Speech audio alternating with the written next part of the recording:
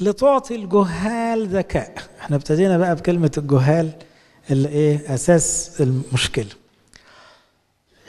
يبقى لازم نعتبر نفسنا وإحنا بندرس السفر ده بالذات إن كلنا قاعدين لمؤاخذة زي التلامذة الخيبانين اللي معترفين إن إحنا جهال. عاوزين نقعد القعدة دي. معترفين بإن إحنا جهال. يحكى إن القديس أرسانيوس معلم أولاد الملوك ساب بلاد العز وكان مركزه كبير معلم أولاد الملوك يعني على درجة علمية عالية قوي وجيت رهبا في الصحراء في مصر وكان الرهبان كلهم فلاحين وبسط.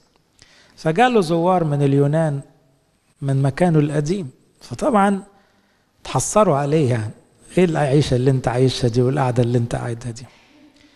قال لهم صدقوني الألف ب الروحية اللي يعرفها أي فلاح في دول أنا لسه ما اتعلمتهاش الألف ب الروحانية اللي فاهمينها الحكمة دول أنا لسه ما عرفتهاش.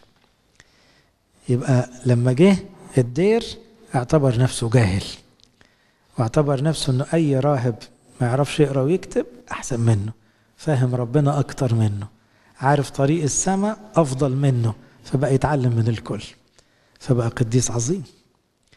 إنما إحنا للأسف أحيانا علمنا خبراتنا سننا بتدينا إحساس مزيف إن إحنا حكماء. لا دي حكمة الدنيا دي ما تسواش. حكمة الدنيا دي ساعات تضيع. قال عنها القديس يعقوب حكمة أرضية نفسانية وأحيانا تبقى إيه؟ شيطانية.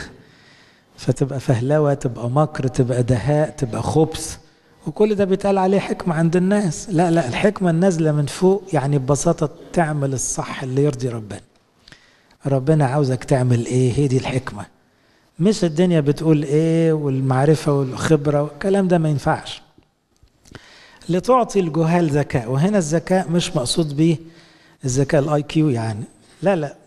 الذكاء يعني التصرف السليم في كل موقف. الحكم السليم على كل أمر.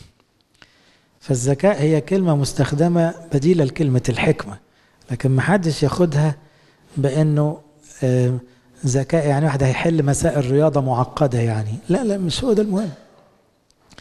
والشاب لتعطي الشاب معرفة وتدبرا عشان كده قلنا الجزء الأولاني يميل أنه يكون إيه؟ خاص بالشباب. والشباب ده يعني مش المراهق الصغير لا الشباب يعني كل الناس لكن على الأقل لغاية 40 سنة بيتقال عليهم شباب يعني. والشاب تعطيه معرفة وتدبرا. يعني الشاب يعرف يدبر حياته. إحنا فعلا عندنا أزمة في الشباب دلوقتي إن شباب كتير اختياراته غير حكيمة. بيتصرف تصرفات واضح إنها عن جهل ويبقى معاه شهادة من كلية كبيرة يعني. بس هو مش حكيم. إزاي يقع الوقعة دي؟ إزاي يمشي في السكة دي؟ إزاي أي حد يلعب في دماغه كده؟ تحس إنه فين مخك يا ابني؟ ما هو ناقص حكمة. ما هو لا مؤاخذة لا يكون أبوه وأمه كمان. ما علموهوش الحكمة الروحية. ما قروش معاه سفر الأمثال. ما ذاكروش معاه الأناجيل. إذا الغرض الثاني لتعطي الجهال ذكاء وتعطي الشاب معرفة وتدبرا.